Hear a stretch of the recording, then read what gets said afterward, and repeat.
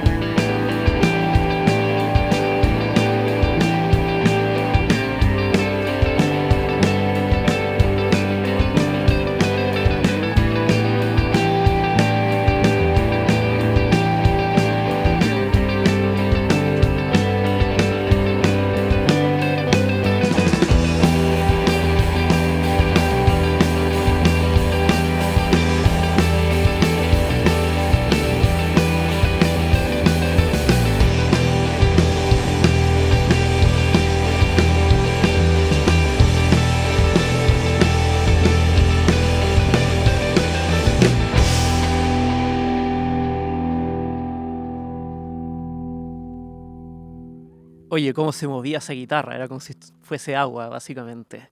Elefantes sonámbulos acá en Circuito Nacional. Amigos, ¿cómo están? Bienvenidos. Hola Ignacio, ¿cómo Hola, estás? Ignacio, ¿cómo estás? muy bien. Qué bueno, me alegra que estén bien, yo estoy bastante bien. También después de escucharlos, mucho mejor.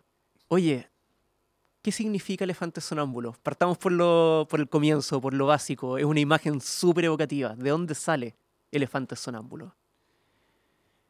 Eh, Elefante sonámbulo es un, e- está más compuesto que, que un concepto, o sea, es- es- está más compuesto en términos semánticos que el concepto mismo. Ya. Eh, nos gustaban los elefantes, pero había una banda llamada Elefantes. Después empezamos a buscar palabras que eran bonitas en español. Sonambulismo salió y dijimos elefantes sonámbulos y ahí no- nos encantó.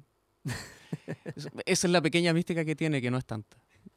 Sí, un poco de mística tiene, pero de alguna manera describe un poco el sonido. No solo es evocativo, sino que además no se me ocurren cosas más aterradoras que un elefante sonámbulo. eh, puede ser una figura también muy brutal. Creo que hay una tensión muy interesante en el sonido de ustedes, que es una mezcla entre elementos que son gentiles, elementos que son bellos y momentos de genuina fuerza, de, de genuina brutalidad. ¿Cómo conforman ustedes el sonido de elefante sonámbulo? Oye, eh, te agradezco esa acotación porque yo estoy súper de acuerdo con eso. Aunque no hayamos pensado el nombre pensando en eso, nosotros en algún momento escribimos un cuento que se llamaba La caída de Uliev, que es una ciudad falsa, ¿Ya? eh, que era arrasada por elefantes sonámbulos. Entonces eran, era básicamente un ejército de elefantes que iba arrasando todo a su paso. Entonces, y nosotros con el primer EP teníamos como esa sensación de esa fuerza también, que la, la banda que explota mucho. eh, y, no sé, respondiendo a tu pregunta, a ver si es que me acuerdo un poco. eh, la idea es como mezclar, eh, mezclar muchas cosas, mezclar eh, mucho delay, muchas guitarras, de hacer murallas de sonido. Esa es como la idea, que se vayan construyendo, construyendo hasta que explotan. Eso es un poco, así queremos, así conseguimos esa fuerza. La, la tensión entre lo que es la construcción y el derrumbe, finalmente. Claro, o sea, todo tiene que derrumbarse. Yo particularmente me gusta mucho el, el post-rock y es como la, la idea fundamental de todo eso. Parte de algo muy suave, muy suave. Y la idea es que el desenlace siempre sea explosivo. Eh, buscamos siempre en un inicio eso. eh, estamos trabajando cosas que ya no tienen un poco, pero siempre se escapa igual. O sea, es parte de la identidad. Por algún lado hay que salir, eh, finalmente. Mencionas el primer EP y mencionas lo que es finalmente el trabajo hacia el primer disco, el larga duración debut. ¿Cómo crece Elefantes Sonámbulos entre medio? ¿Cómo evoluciona el sonido? Eso es complejo, eso es sumamente complejo, pero yo creo que se debe mucho a Pablo, eh, porque el, el primer EP eh, e- es muy yo, es muy yo todo el rato, y Pablo entra ya eh, a, a aportar nuevos, después que, sa- que salieran esas cuatro canciones, empieza a tirar nuevas ideas, quiere tratar con cosas que son un poco más, más electrónicas quizás, quiere trabajar más con guitarras electroacústicas. Eso después se termina transformando en no electrónico y no electroacústico, pero sí cambia toda la forma de hacer canciones y con eso eh, básicamente se hacen lo- los cinco singles que, que tiramos antes del, del primer LP, que son súper distintos, eh, como en la... eh, Es súper distinto en la oscuridad que tiene el EP. ¿ya? Tiene mucho de elefantes sonámbulos, pero es mucho más diverso, es mucho más heterogéneo y eso eh, es el, el aporte de Pablo ahí hinchando, hinchando, hinchando. Gracias, compañero. Con cariño siempre. Oye, pero describes un proceso que al final es muy lindo, esta idea de partir encerrado en uno y eventualmente encontrar el momento de la colaboración, el momento en donde distintas mentes se unen. ¿Cómo ha sido eso para ustedes? Pablo. Por favor, Pablo. Eh, la verdad, eh, ha sido súper choro porque mm, partimos con Daniel haciendo, o sea, él me dio a conocer sus maquetas eh, y de a poquito yo fui entrando eh, con mis guitarras, con los delays, con los reverb, eh, haciendo mis aportes. Eh, y de ahí yo creo que hemos podido en conjunto ir trabajando, maqueteando para allá y para acá y- la verdad... Es bonito, es bonito porque hace que nuestra amistad crezca Eh, comenzamos tocando en un tributo y hoy día estamos acá. Y la verdad, hoy día siento que me siento mucho más cómodo con Daniel haciendo música que en un principio y justamente porque ha sido un proceso súper lindo y donde de a poquito yo he podido ir haciendo mi aporte en todos los, en todos los ámbitos. Y Daniel, por supuesto, con el feedback de Daniel. Y la verdad, esto es lo que hemos logrado y, y ahora que en el LP estamos contentos. Pues, así que ah, eh, son puros temas que hemos hecho durante la pandemia y, ah, y encerrados salieron muchas ideas y, y nos podemos complementar súper bien. Esa es la gracia que tenemos. Oye, se lanzaron igual. ¿Cuál era el tributo? Tributo a The Strokes. Hace sentido, hace, hace sentido igual. Esta cosa de las guitarras más angulares, esta, esta como confluencia de sonidos que terminan sonando súper cuadrados y súper libres al mismo tiempo. Sí, algo sale de ahí. Oye, trabajaron el primer LP con Victoria Cordero, una de las, eh, te diría, mejores artistas y productoras de este país. ¿Cómo llegaron a ella? Eh, Pablo, de nuevo, te cedo la palabra. Eh, yo la, la verdad yo la conocí por redes sociales. Eh, me gustó, una vez con Daniel escuchamos a su banda, Círculo Polar, o yo parece que la encontré por ahí, Spotify, y desde ahí que me, me gustó un par de temas de su banda y, y después la empecé a seguir, parece que seguía un par de bateros también y como que siempre vi sus publicaciones y empecé a, a- ver que trabajaba con, con igual varios artistas conocidos, que ella era súper seca en los trabajos que hacía, escuché harto su música y ahí se la, se lo, se la presenté a Daniel. O sea, eh, le dije, oye, yo creo que acá tenemos otra persona con la que podemos trabajar. Y, y ahí hicimos el contacto y bueno, ella masterizó, eh, mezcló y masterizó Revivir la Tempestad, que lanzamos el año 21 y el último single y ahora queremos seguir trabajando con ella para lo que es el LP. Así que eso, no sé, Daniel, si quieres acotar. Sí. Bueno, acotar que fue un proceso raro de una u otra forma, porque es como, él me dice, ya digamos la Victoria Cordero que es bacán. Y, pero, pero ¿quiénes somos nosotros? Vamos. Y hablamos con ella y es un amor, es un amor. Nada más que decir. Que, que bueno, igual, de alguna manera también indica que eh, si personas bacanes quieren trabajar con ustedes, de alguna manera ustedes son bacanes también. Gracias. Gracias. Oigan, chicos, ¿cómo es hacer arte cuando se está acabando el mundo? Puede sonar apocalíptico, literalmente suena apocalíptico, se está acabando el mundo. ¿Cómo es hacer arte en un periodo de pandemia, en un periodo en donde todos los días hay algo nuevo y es, es literalmente el meme de Alberto Fernández, como ¿qué pasó ahora? ¿Cómo fue para ustedes ese proceso?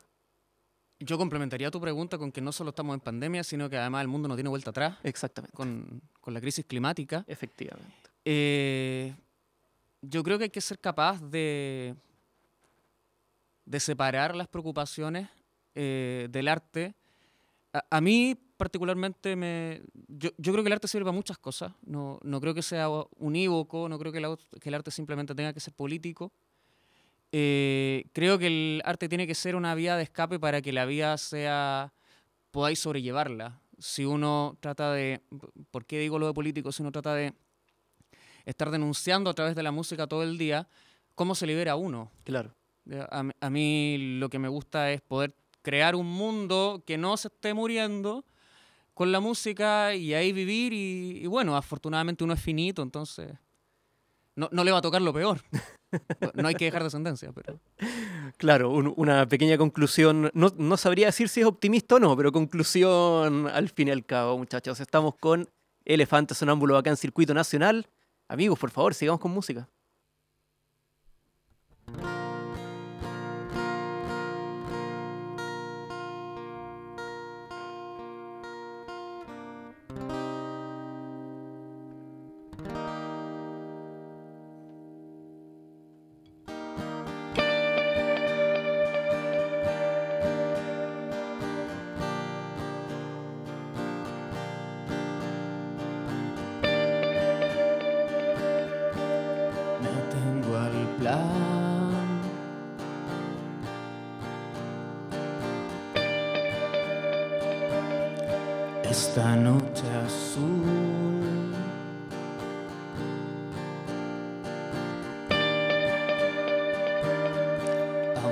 me desangra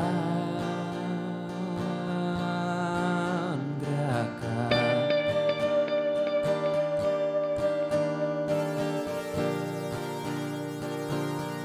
Porque aún sigo en sí.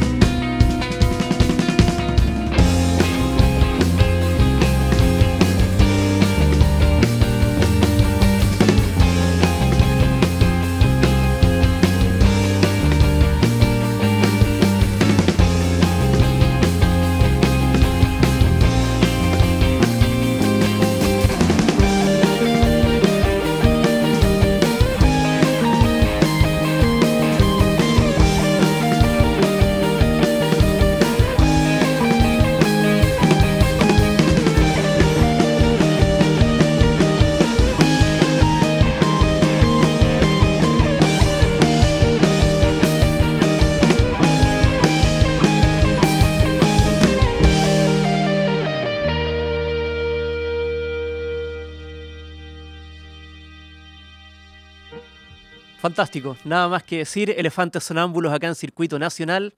Amigos míos, muchas gracias por haber estado hoy día con nosotros. Gracias, Ignacio. Gracias por invitarnos. Y ustedes quedan con la invitación también. Si no se quieren perder más sesiones, métanse a circuitonacional.org, suscríbanse a nuestro canal de YouTube, aprieten la bendita campanita y nos encontramos en una próxima edición.